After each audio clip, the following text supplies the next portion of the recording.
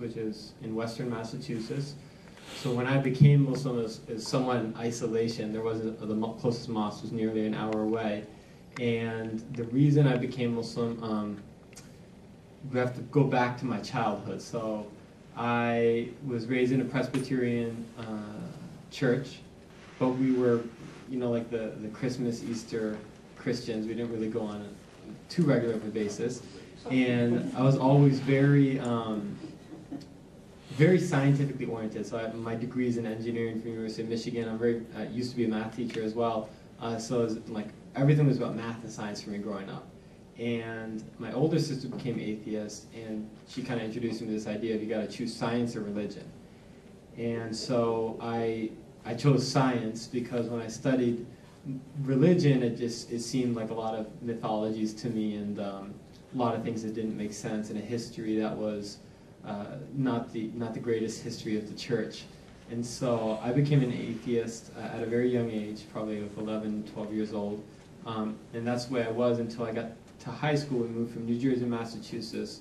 We moved next to a family who had a son my age. His name was Mike Dan. Um, Mike and I were very different. He used to have a lot of problems with alcohol and drugs, so we never interacted too much until he became Muslim.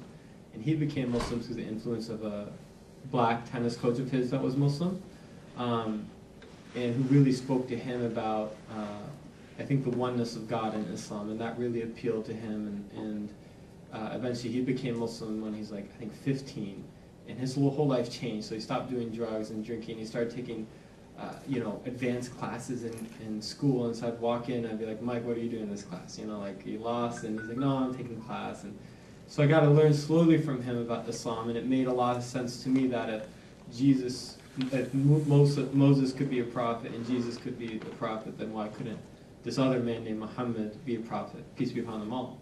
And um, but I was atheist. I didn't believe in God, so to me it was all just a, a, the, a theoretical kind of uh, exercise. Until I read the autobiography of Malcolm X, and when I read the autobiography of Malcolm X, he really touched me, his words really touched me, and he said that if you take one step towards God, God will take two steps towards you. And I was scientist, and so it's a hypothesis, so the only thing I can do is test the hypothesis. And so I stopped eating pork and going to parties with alcohol with the intention that if this is a true religion and if God really exists, that God guide me to him. And I continued to study Islam, and what I found was the more I studied Islam, the more I was silenced. So I would ask questions, even like questions I used to ask about Christianity. So I used to ask who was Jesus, and I realized that we really couldn't didn't know too much about who Jesus really was. And I asked the same question about who was Muhammad, and all of a sudden you you there's all this information about who he is, and when you study his life, he was clearly a sincere man. He was clearly uh, motivated to to spread the message of, of the oneness of God and help the poor and disenfranchised people. And he wasn't in it for power, he wasn't in it for money, so you, you start to ask yourself, what, what was he doing? And I asked the same question about the holy book. So when I looked in the Bible, how do we know that this is an authentic book from God? You start find, or I would find, you know, contradictions in the book and different versions of the Bible. And when I asked the same question about the Quran, I found that there's only and has only always been one Arabic Quran which just no matter what your sect is, what period of history you're in, or where in the world you are, it's the same Quran. Um, and that even people who aren't Muslim acknowledge that it came from the time period of the Prophet Muhammad. They just don't think God, he think, they think he wrote it, that God didn't write it. Um, and I kept asking those questions and kept getting silence as I tried to prove Islam away until I got to uh, a point where I thought, uh, I was reading about the afterlife. And I thought, you know, this is time in high school when you're preparing for college and SATs and all those things. And I was thinking about, I spend so much time preparing for those matters in my life that are probable but not certain. And there's one matter in my life that's certain that I've never even thought about, and that's the matter of what happens to me when I die. Um, and so at that point, I was like, either there is no God or it's Islam, and I didn't really want to take my chances, so I became a Muslim. And um, it's been quite the journey since then because I told you it was uh, three months before 9 11.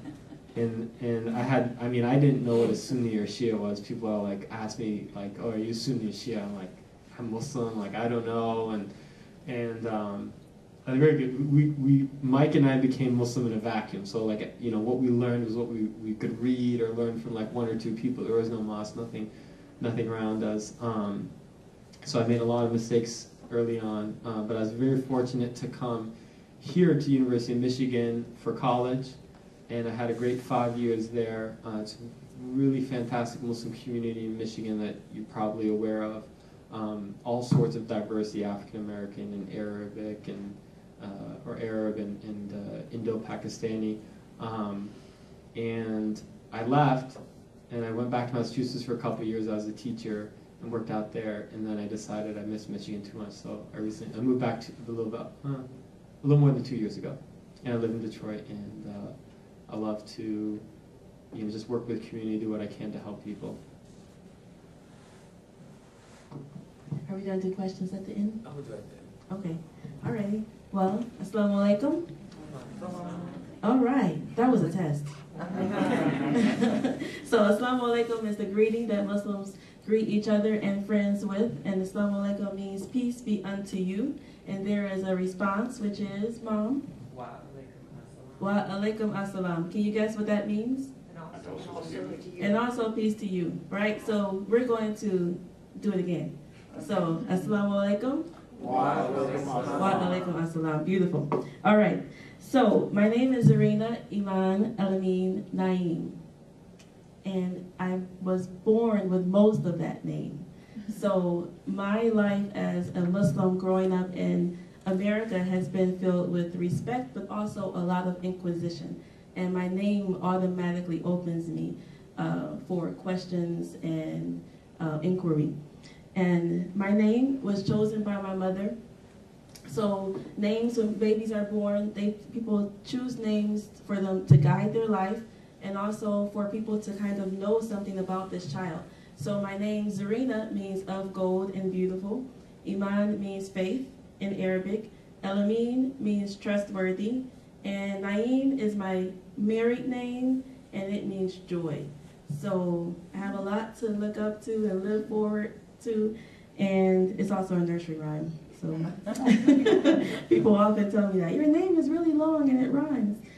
So um, I think what I wanted to share with you all today about my life as a Muslim in America um, and as an African American Muslim in America is that um, I think African Americans in particular are in a unique position um, in the country. My parents, as many of you heard earlier from the beginning, um, converted to Islam separately. So my mother converted, my father converted. They met at the masjid, they got married, and then they had children, and we were raised Muslim after that. Um, we were raised Muslim after that. But as any child, you know, grows up, you're taught certain beliefs, but you have to consciously make a decision for yourself in a moment. Like you cannot stay in that that place where your parents are telling you this is what you believe, this is what you do, this these are the habits that you have. And I think for me, um, there were times when I oscillated in life. So there were times when I was more of a practicing Muslim than other times. And I think cemented like within my heart, I would say um, really around like college age was when for me it was like like this is who I am. This is a part. It's not just because my mother converted and my father converted, but this is something that is a part of Zarina's life, and I believe is truth, and I'm going to live it. So for me, that meant that um, following, you know, the five pillars of Islam. Does anyone know what the five pillars of Islam are? No. Yes. Okay. So go ahead and tell her. She looks like she should be able to tell us. How do I know?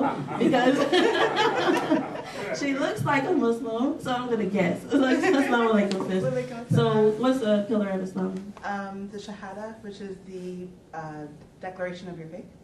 Salah, which is prayer, your five daily prayers. Um, there's Saum, which is fasting, where we're coming up on Ramadan, where we fast 30 days. Uh, there's zakah, which is charity given um, from your wealth to help feed the poor, and hajj, which is pilgrimage to Mecca. Right. So those are the five basic things that we're all supposed to do as Muslims. And it sounds like it's not a lot, but for me at that moment, it was a lot. Like for me to consciously make a decision to wake up in the morning, early morning. Like right now, our early morning prayer is at 4:20, 4:30 in the morning. That's early, right? So you're waking up out of your sleep at 4:30 in the morning to pray to your Lord and to ask for forgiveness and to ask for guidance. And although you are benefiting from it, it's still a struggle it's still a struggle for me to get up early in the morning and make that conscious decision. So um, I made this, the, the determination that in my life this was something that I needed to do for me. And I went to college um, at Howard University in Washington, D.C. Lovely place. I miss it a lot in many ways. And I studied computer science there. And for the first couple of years when I was at Howard, um, many of my friends knew that I was Muslim by name, of course, but then also from asking me, "Are you coming to this party? Do you want to go drink? No, I don't drink. Do you smoke? No, I don't smoke. Why? Oh, Muslim. You know, so you get that in college. And college is a time for many people to um, explore and to kind of seek out different things, to test different things in life. And um, I had a lot of people that, that questioned me a lot about some of the choices that I made and some of the things that I did or did not do when I was in college. Um, towards the end of my college, I decided that I was going to go into the Peace Corps. And that was a big thing for me in life. Um, I always wanted to do that, but I got rejected. I got rejected because I didn't have my wisdom teeth. So I passed all the things, but if you don't have your wisdom teeth, they can weed you out so that um, if you're in the field and you happen to have your teeth cut in and it's very, very painful, they don't want to have to medevac you out. So that was an issue. So I didn't go to the Peace Corps, but I decided to go to Egypt instead. And I think this was, I graduated in 2001. Um, and I had originally planned to go to Morocco. And then this thing called 9 11 happened and uh, my program in Morocco was immediately canceled. So I decided I was going to go anyway, and I went to Egypt. And everybody was thinking that I was crazy. like, why are you going to a Muslim country um, after 9-11? You don't know what you're doing. You know, aren't you scared? So I got a lot of questions like that from Muslims as well as non-Muslims. Um, and I went to Egypt, and I stayed there for about 11 months. Um, and I studied Arabic, and I kind of went back and forth um, as well. I taught English to Sudanese refugees. That was a whole other experience. And then I taught English to uh, middle and upper class, I hate the word class, but higher income um, Egyptians as well. And being an African American Muslim in a Muslim country was a totally different experience, just as far as Islam goes as well, because um, many people didn't assume that America had a lot of Muslims, let alone people that look like me that were Muslim. So that was a question. Um, so speeding up, I came back to the United States, and then I um, began working in another Muslim part of the world, which was West Africa. And so I worked in Sierra Leone and Senegal um, in international development there. And being in that Muslim environment was a total contrast to being in the Muslim environment in Egypt.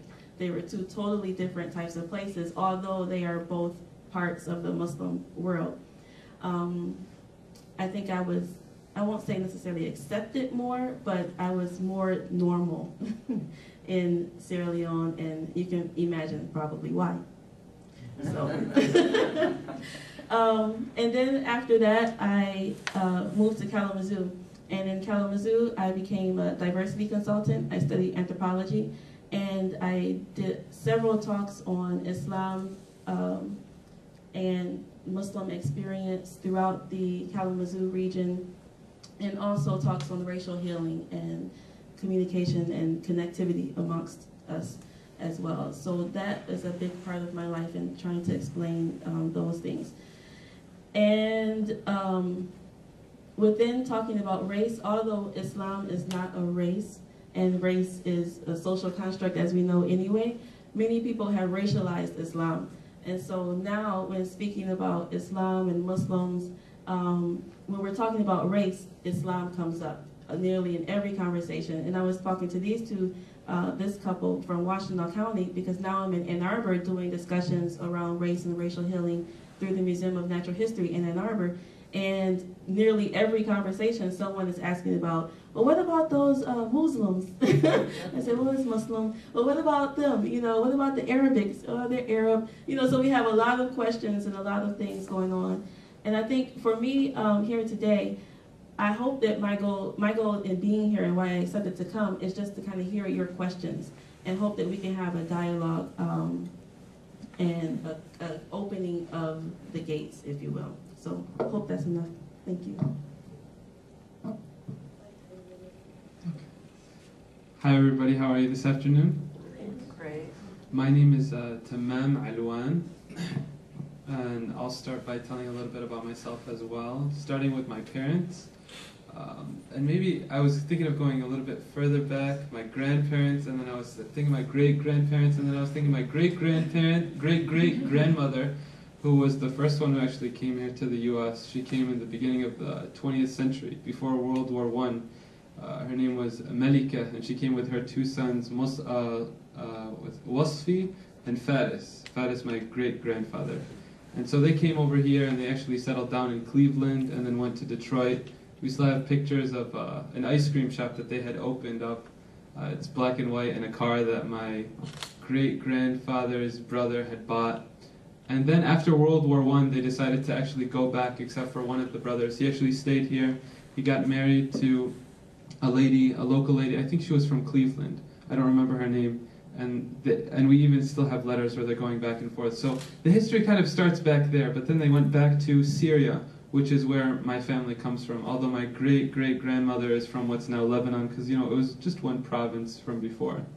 Um, after that, my grandfather, you know, he has this history. His father went there, and his grandmother went there, and so he also comes to America and becomes an American citizen and settles down. He, he spends a lot of time with us here in Michigan and also in California.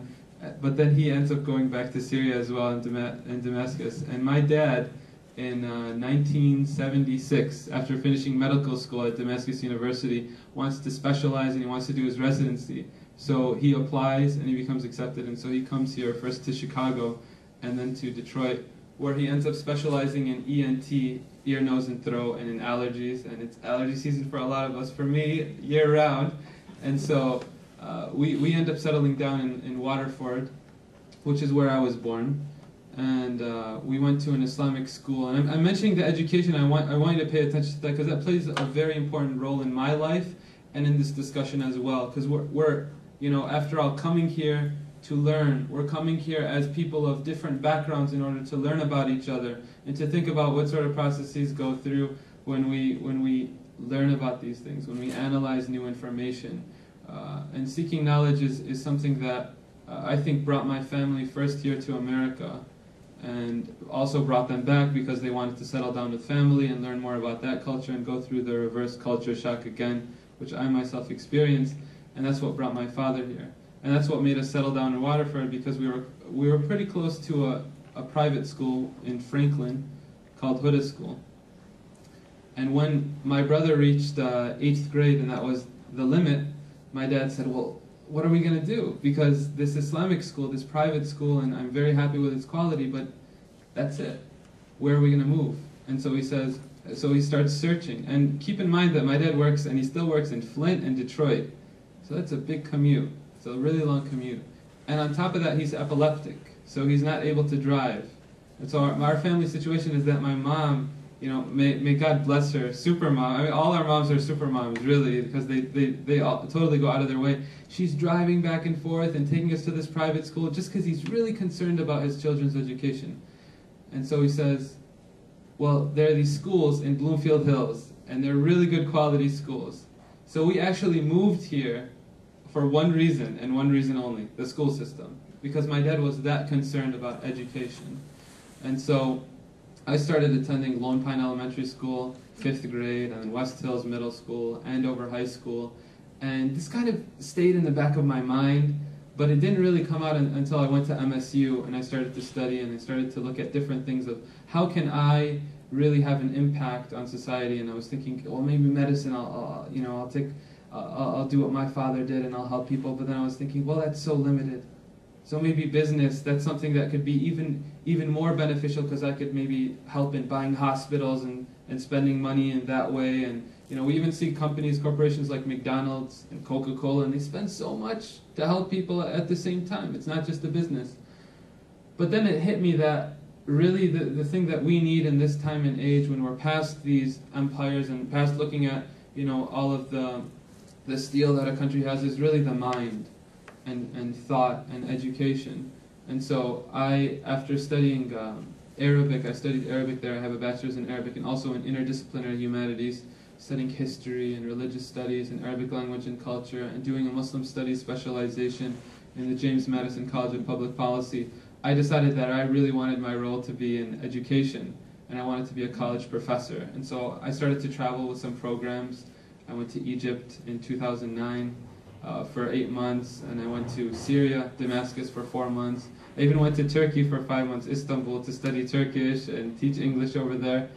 Um, until I realized that I really, and I'm not saying this to put anybody down here because we're all adults here, but I could I could invest the most in educating the young and spending time with with children because that's really where all of these foundations are and any sort of misconceptions that we may have about Muslims probably come from a childhood experience and the same goes for any sort of race or any sort of language or any sort of ethnicity it really comes from our childhood and so uh, you know chance had it fate had it that um, I met with uh, the founder may uh, may he rest in peace, uh, Brother Dawud Tawhidi of a school that's in Canton. That's where I came from. Sorry for running late. It took me an hour to get here.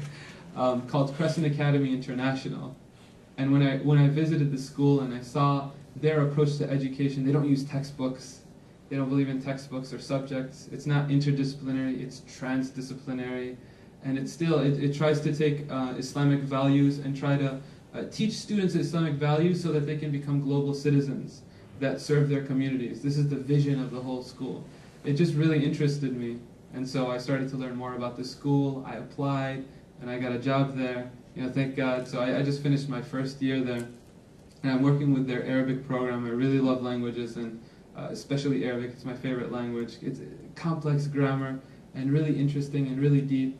And so um, working there, I can see a lot of a lot of the things that that I experienced in my childhood one thing is identity, um, this identity crisis.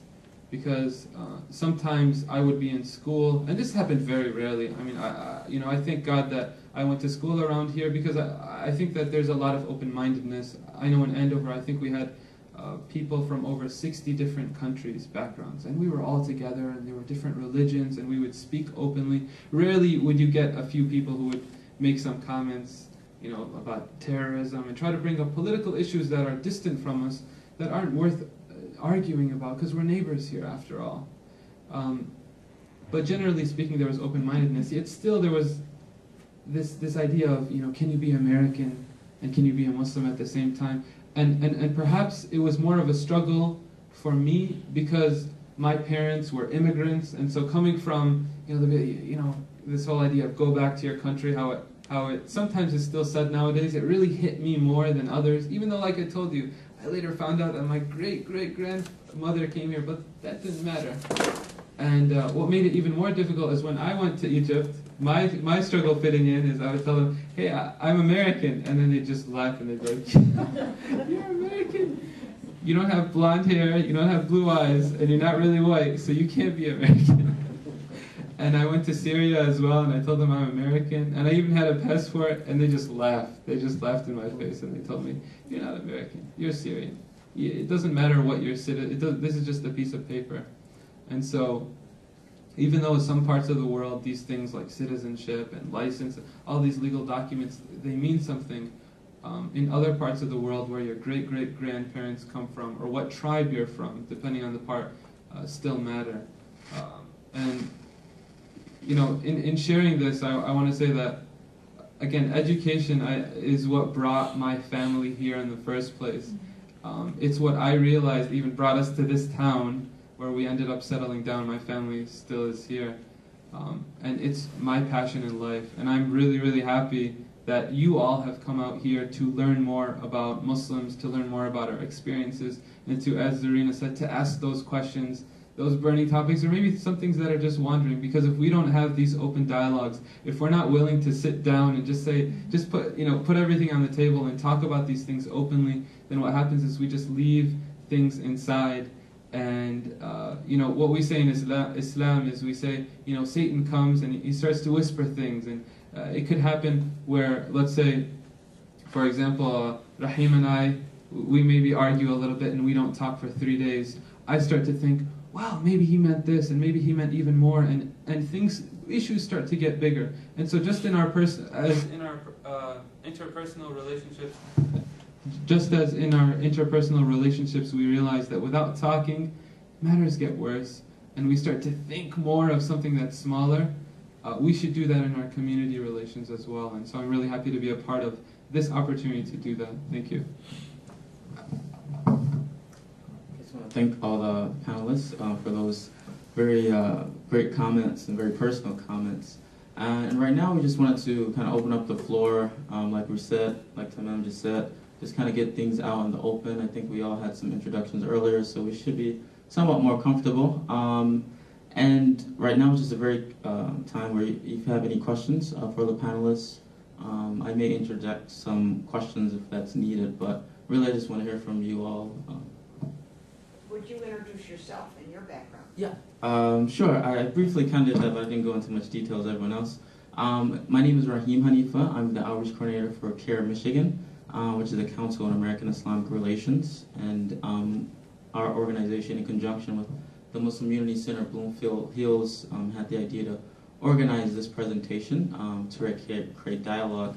Um, I grew up in Detroit, Michigan, on the east side of Detroit, um, off of Harper and Whittier area. Um, my parents converted to Islam in, uh, I believe, the early 70s.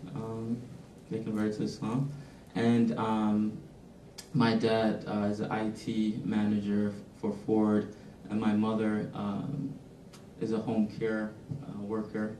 And um, I have four siblings. One of my older siblings passed away um, some time ago. And uh, again, I went to college at Michigan State University, studied political science and sociology.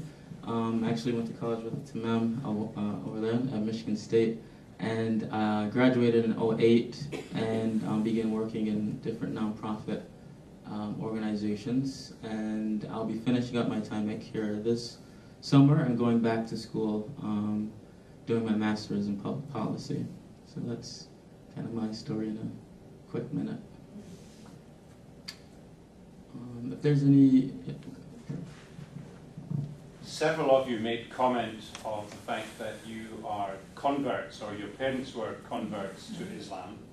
And from time to time we hear of um, problems arising overseas in Islamic countries when someone converts from Islam to another faith.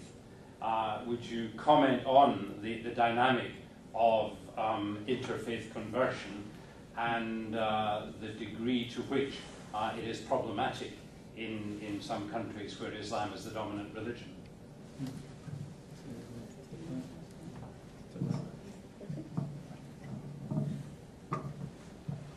Yeah, I mean, um, I wouldn't say that I'm able to comment on all the countries. Um, I can tell you that um, it came up in Egypt. One of my professors for actually Egyptian colloquial Arabic, very, very nice man, is a Coptic Christian. Uh, his name is uh, Imad, Ustad Imad. Ustad means teacher, but I have to say that it, it, just seems weird to just call him by his first name. And so I was really happy about that because because we hear a lot on the news about. I'll just raise my voice. We hear a lot on the news about uh, Christians, especially in Egypt, especially in the um, it's called Sa'id, I think it's called in Upper Egypt, where it's basically south on the Nile. There's a large, large Christian community in that part of Egypt. And even in Syria, um, I don't know the exact percentage, but I'm thinking 20, 20%, maybe 30%, they, ha- they have Christians over there as well. And so we, considering I was one of, it was basically 14 students, we were sent with um, the American Councils for International Education, um, and actually the NSA's um, education like uh, their part with education. They funded us with IIE, with Fulbright, and so it was a big thing. We met, we went to DC, and uh, most of the people in our program weren't Muslims. Uh, and so these issues came up a lot where we had these questions, especially with a lot of the articles um, from private, because I, I, used to read them, all, I used to keep up with them more in, in, the past. You would see all these articles, and they would come out every week or so, and they would talk about a Christian converting to Islam or a Muslim con, uh, converting to Christianity in Egypt, and the problems that would arise, particularly in the family. Um, sometimes there would be killing, sometimes there would be um, a sort of disowning of that person. Sometimes there would be uh, violent crimes that would be mentioned in these reports. And so we finally sat down with uh, this professor and asked him to tell us, because he actually comes from that region. He ended up moving later to Alexandria, which is where I studied. So he's from Upper Egypt, and so he knows how to speak that dialect. It's a different dialect. And we asked him, what do you think about the situation? You're a Coptic Christian uh, Egyptian, and you're living here in this predominantly Muslim society, and what would you say about the relations? And I want to add on to your discussion um, the building of um, uh, churches, because I, I, think it kind of goes within the same realm.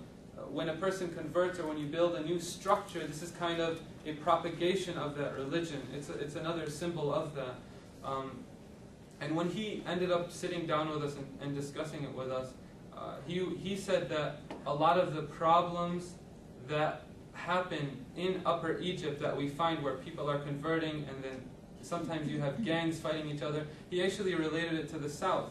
And I was reading, um, I know that Malcolm Gladwell is, you know, criticized for sometimes taking ideas and taking them too far and not being so sound in terms of uh, sociology. But he talks about how a lot of um, people from um, Scottish or Irish background had come to the South, and how there had been also this culture, this tribal culture, that sometimes would start a conflict that would continue for many, many years afterward over a simple scuffle. And he, what he told us, he told us that, it's, it's a very similar culture in Upper Egypt, where Christians and Muslims would fight each other over things that were very small. Were there restrictions on building uh, churches? From what I heard, yes. And he even said that, that sometimes if a church were to be expanded or if it were to be built, that there were restrictions put on that by the Egyptian government.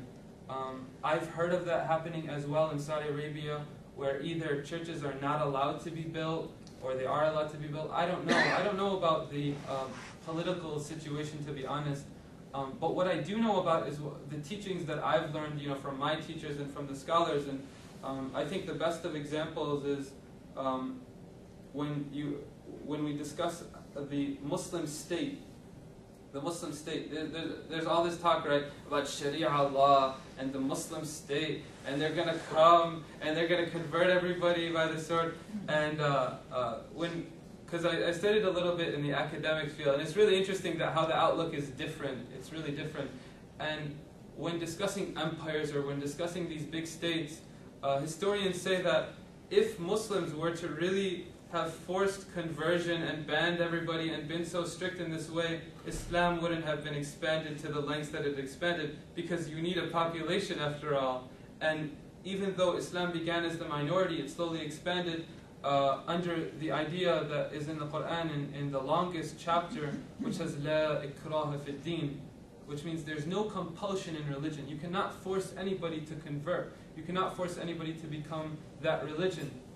And so uh, when one scholar, and his name escapes me, I, I believe it was Ibn al-Qayyim al-Jawziyah, was asked about the uh, Zoroastrians, um, because Islam expanded to the Sassanid Empire, to the Persians, uh, who had this act, I'm sorry to say, uh, I, I, mean, I'm sorry if it's inappropriate, but it, it is a religious act, and I asked another professor about it, and he said it's true, where basically amongst each other, amongst the, the, the, priestly family and the royal family that incest was practiced to sort of preserve the blood. And it even happened with some of the royal families in, in Europe as well. Uh, when he was asked about this, and the Muslim state was asked about this, I mean, in Islam, incest is a huge crime. It's, it's, it's really bad. When he was asked about what should we do with these people, now we are governing them, but them in their own law, they're doing things that totally contradict Islam. He was told Let's go with the Islamic law. And what is Islamic law? that you leave people to govern themselves. That similarly to how we have uh, rabbinic courts, I still think in New York, where people can marry according to different laws and have that private law for family, for inheritance, to have that preserved, that that would still be preserved in the Islamic State. And so um, it, it, it it just uh, takes this whole idea of imposing one religion on other people and kind of flips it over. And so the traditional approach would be to, although there are some opinions that do say that if a person uh, converts away from Islam and starts to openly, and this is in, an, in a state that is a Muslim state, that they should be um, they should be taken to jail. They should have the death punishment if they convert away from Islam and they start to insult Islam and they start to openly insult the government. That they should do that. This is a traditional opinion, and uh, you know it's something that we can read very easily. That there is another opinion as well that says that that shouldn't happen un- unless it's seen as an act of treason. So similarly to how if I, as an American, for example, were to say, you know, I revoke my citizenship and I start insulting the U.S. and insulting the president and saying remarks that are violent in nature, how I would be taken to jail, and I think rightfully so because I could be a danger to my neighbors. It was seen in that respect because um, the government itself was ruled by Muslims. And so that's, that's how I've understood it from my teachers, and I could be wrong. But if we look at the classical way, uh, the classical uh, Islamic state, like I said, um, there were Jews and Christians and different religions living amongst each other. Even if we look at the Ottoman governance, how in their millet system, their millet meaning millah, which in Arabic means community, they had uh, the heads of each religion together come together and meet in the royal court so that they could represent their own communities. So the idea is, is very pluralistic. This idea of a common law in the modern state that we have, that one law fits for everyone, it's very new to the, to the classical idea of a Muslim state where every community, rather, would govern themselves, except in the cases where um, you go out of the private sphere to the public sphere. So when you start talking about this person murdered this person, this person came and you know crimes that, that don't just involve a person and their personal rights like family law, divorce, inheritance, such things, but that involve the, the government as a whole, then the government would step in. So that's my understanding based on what I've studied. If you want, if you have a follow up question, please please do ask. I wanted to add something as well, and that is, um, can you hear me okay? Okay, and that is that, um, and I'm not a scholar, but I would say there is Islam, but then there are Muslims, and Muslims are human beings, and human beings are flawed, and human beings follow whims, and human beings interpret things with their own uh, lenses, and um, human beings um, do some things that may not necessarily even go with the religion or the tradition that they say that they follow. And Tamam um, spoke to you about the different opinions of, of that. But I would say, in general, in a lot of things that come up with controversy around Islam, typically it usually is around some human beings doing some things that are not necessarily even Islamic. And I think there's a there's a difference between Muslims and Islam. There doesn't appear to be a strongly felt need on the part of official Islamic spokespersons to distance themselves. You know, um, as you would tell from the funny way I speak, I'm not native to these parts. Um, and in, in my homeland in Great Britain, uh, one of the great problems in, in British society the last 20, 30 years has been the conflict in Northern Ireland, which was presented in the media as Catholics versus Protestants. And most religious leaders in those contexts tried to distance themselves from uh, those who wore the name but use that just as a flag of convenience and were really behaving in non religious ways. And forgive me if I'm wrong, but I, I don't see many instances of official spokespersons from um, Muslim communities distancing themselves from some of the, you know, some of the atrocities that think- make the sensationalist I think headlines. I would have to say first that what's the state the statement um, until the lion writes the history books, they will always glorify the hunter, and that means that you have to have um, your own voice, and you have to have people within the media that um, that give you the opportunity to state. We like whenever something happens negatively or someone is killed in the wrong way, you have several Muslim leaders that condemn that act and speak very loudly against it, but you don't hear it. Why don't you hear it? Because who owns the media? Who controls that channel and the messages that are going out? And so, very briefly, I would say that there, um, I think the perception is that Muslims are not speaking out against those atrocities and things that are happening. But all of us, from our reality and the circles, inner circles, know that it's happening very loudly. But we have to be stronger in ourselves to make it be heard. And additionally, if I can add that, um, if you just go online and Google something like Muslim con- condemnations of acts of terror, um, you'll find lots of condemnation. Just about every um, major Islamic institution has condemned uh, consistently uh, whenever a major attack happened, especially like 9/11. Like everyone, uh, all the major scholars and institutions uh, quite clearly condemn these acts and can continue to do so. But again, you know, these aren't the most uh, sensationalized stories, so it may not make the nightly news um, that you know the local imam or the imam of a large congregation denounces such acts. But you know, they are there if, if you look for them. They're just not so easily presented. I think she had. a Yeah, my question builds on your last comment. Um, so, on the really good side, I would say that um, I am intrigued by youth in my tradition, in the Episcopal tradition, who um, look at and who have grown up in a in a pluralistic and a, in a, uh, a global religious environment that I couldn't have imagined as a child. So I think they have that advantage over all of us. Um, but on the on the good side, I think when they talk about um, uh, people of other faith traditions, and particularly their Muslim friends, I think they speak with great respect um, because of the, um, and I'm speaking generally here and forgive any stereotypes that I'm making, but uh, the things that you're talking about, like praying five times a day and um, fasting, and um, which in the Christian tradition, most of our Christian traditions, we would never begin to ask our families to um, live with that kind of fervor. And I think it's because we are part of the dominant culture. And it's, it's just, we, we live a much more casual religious experience. Um, the downside is that the older generations who didn't grow up in that pluralistic society. Am I? Did I say something really awful? No, I'm sorry. Oh, They should never sit together. Um, um, who didn't grow up in that pluralistic society where maybe the extent of their interfaith experience was with their Jewish brothers and sisters. Um, when they when they really talk about uh, Islam, they, they, there's a lot of ignorance and there's a lot of fear.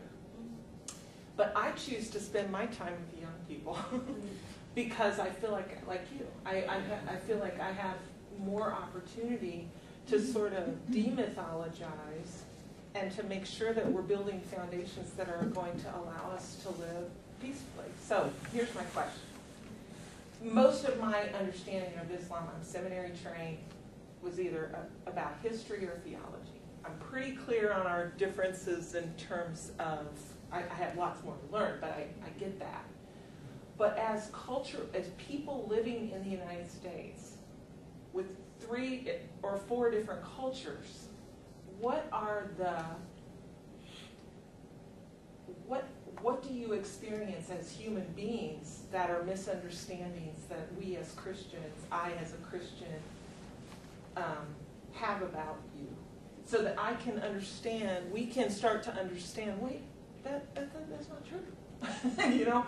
So what what are the what are the tensions and the um, injustices that you experience as a result of um, being a Muslim in America?